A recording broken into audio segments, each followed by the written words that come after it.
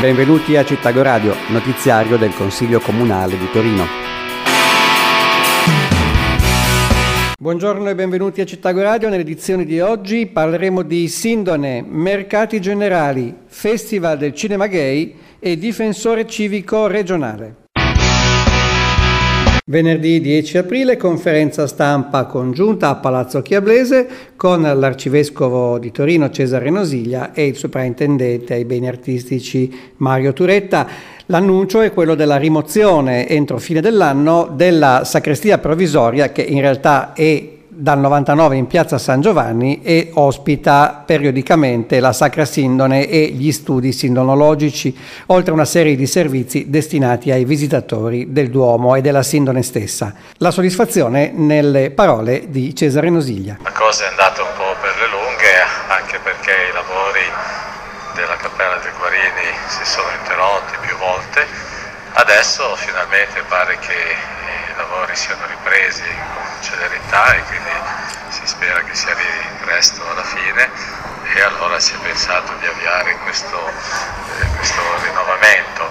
Eh, però in questi anni non si è rimasti eh, fermi, nel senso che ci sono stati continui dialoghi e contatti con la che io ringrazio di poter utilizzare con la, il Palazzo Reale e questa, questa scelta però si rivela ancora molto più efficace perché intanto la sintesi non deve spostarsi se non di pochi metri, possiamo dire, e poi dopo tecnologicamente sarà una clean room molto attrezzata. Al CAT, il centro agroalimentare di Torino, non vi è un problema di accessi non autorizzati né di lavoro nero. È quanto hanno sostenuto Massimo Buse e Giuliano Manolino, rispettivamente direttore e presidente del centro, durante la riunione della Commissione Lavoro. Il problema era stato portato alla luce da un articolo di giornale negli scorsi giorni. Ogni notte, da mezzanotte alle 7.30, lavorano da 3.000 a 5.000 persone, suddivise tra 100 imprese, 240 produttori, 40 cooperative che si occupano della movimentazione delle merci, che sono destinate ai mercati rionali, e naturalmente i clienti. In questo contesto è possibile che vi siano anche accessi di persone non autorizzate, disposte a lavorare per pochi euro. Un fenomeno, hanno ammesso i dirigenti del CAT, conosciuto e gestito e che è riconducibile a non oltre l'1% degli ingressi. Il centro può contare su una vigilanza di 10 persone, ma hanno aggiunto gli stessi operatori vigilano sulla presenza di persone non autorizzate. Le cooperative che utilizzano personale non in regola non possono più esercitare attività al CAT da 7 a 14 giorni e nel 2012 su 7 attività sospese 3 casi erano dovuti a situazioni di lavoro nero. Festival del cinema gay. Siamo in tempi di magra, ma per quest'anno riusciamo ancora a produrre il nostro festival. Sono le parole di Giovanni Minerba, direttore del Festival del cinema gay torinese. Dato per defunto a Natale, il festival ha trovato le risorse per sopravvivere riuscendo a allestire un cartellone di qualità con un budget ridotto del 20%. 120 film da 34 nazioni, con i primi film gay prodotti in paesi dove culturalmente le tematiche omosessuali sono ancora distanti da una completa accettazione.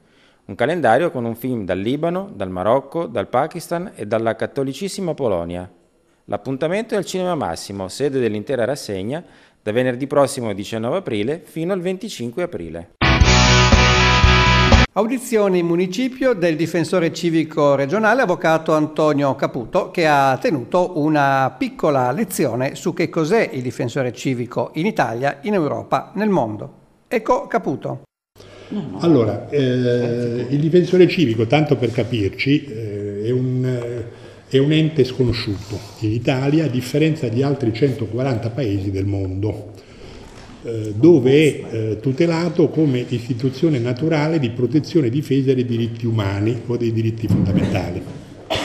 L'Ombudsman, il Defensor del Pueblo, nei paesi sudamericani di lingua spagnola, Spagna, il eh, Defenseur des droits in Francia, da noi si chiama solo difensore civico, che è un termine anche equivoco per alcuni versi, perché fa intendere a qualcuno che possa essere un avvocato. Ora io lo sono anche dal punto di vista del passato professionale, ma il difensore civico non è un avvocato, perché intende eh, tutelare e cercare di garantire attraverso la sua azione due cose. Il principio di buona amministrazione e istituzione di tutela di diritti fondamentali dei cosiddetti diritti umani.